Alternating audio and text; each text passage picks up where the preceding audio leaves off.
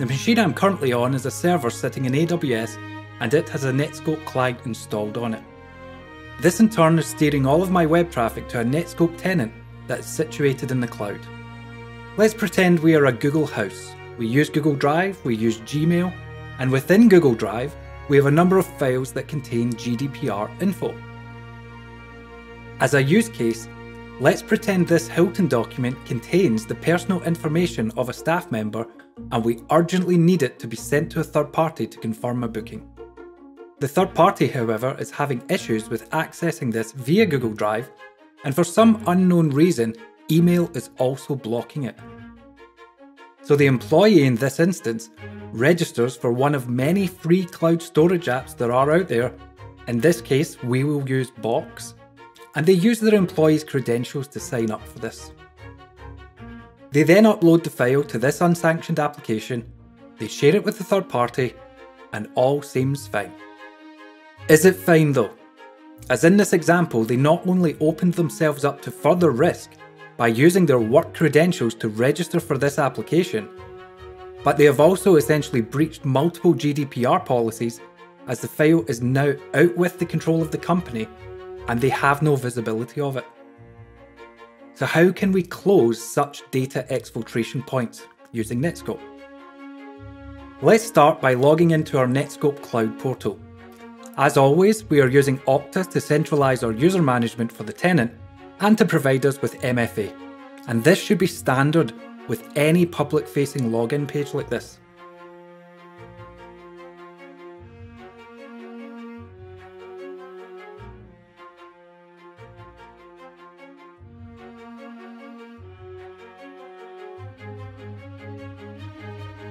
In our policies page, we could go the Secure Web Gateway or CASB route and completely block every single unsanctioned cloud storage app there is.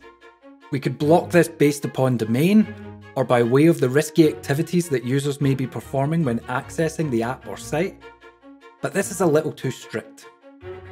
In this example, we're creating a policy that is going to block uploading, posting, editing, or creating any file that exists in a cloud storage app or website. As we are a Google house, we would then need a counteracting policy that allows these activities within Google Drive. But this is not ideal though, as it may negatively impact how we interact with our customers or suppliers who rely on third party apps that we don't necessarily sanction. So it is far too strict a policy for us to limit these activities or access to these applications or sites. Instead, we want to enact our policy based upon the actual content of files, and in this example, based upon GDPR information. So instead of a web access or cloud app policy, we want to create a Netskope DLP policy. As previously, we want this DLP policy to block the movement of GDPR information to unsanctioned cloud apps, so we choose cloud storage as our overall category. But with the DLP policy option, we get to choose a profile for what Netskope is going to check that content against. For this, we are going to choose the out of the box GDPR profile.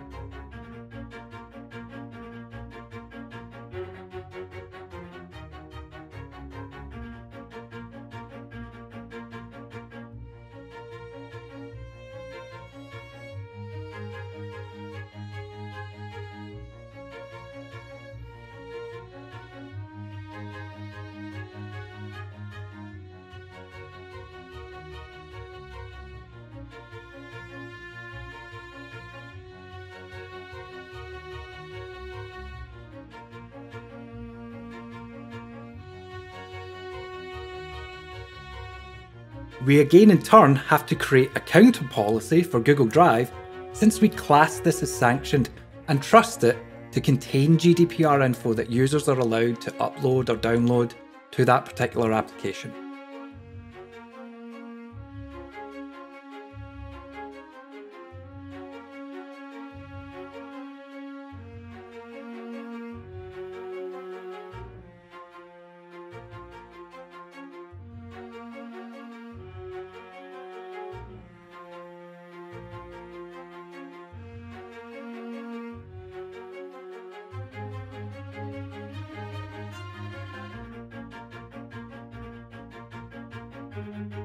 With our DLP policies in place, we return to Box and we try to upload our document that contains the GDPR info. And as you can see, this is now blocked.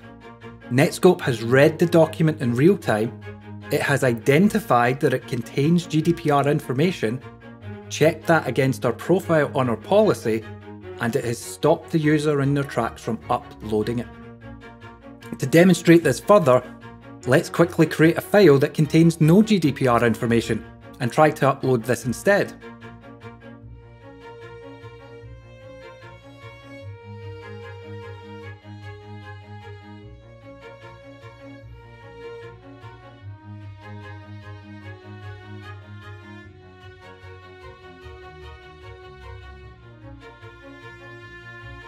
As can be seen, this is allowed.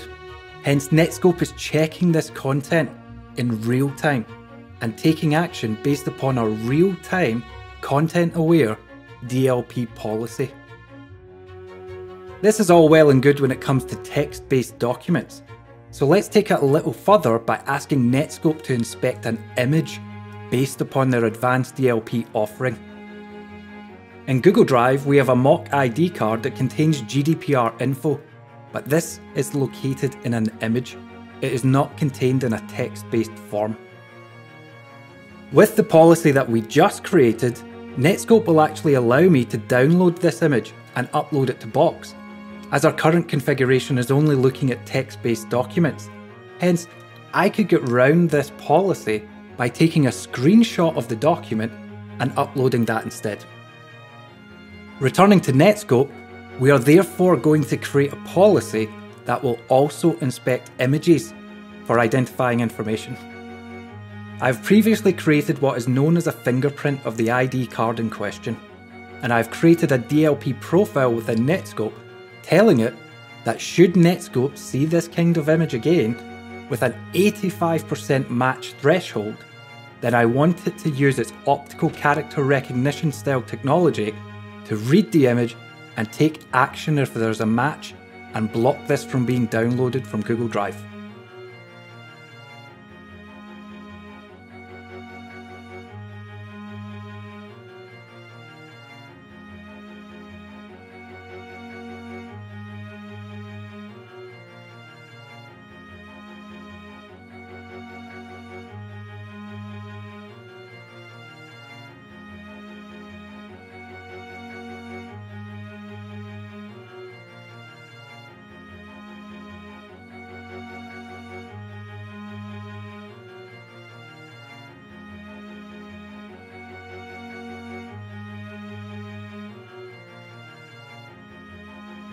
When this policy is saved and synchronized, we return to Google Drive, we try to download the image, and we find that we are blocked.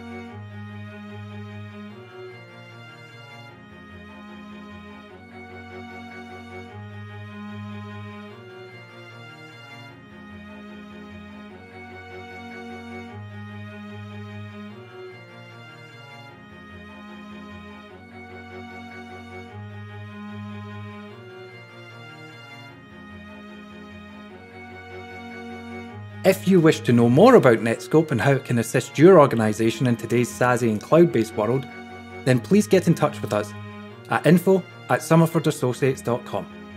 And thank you for watching.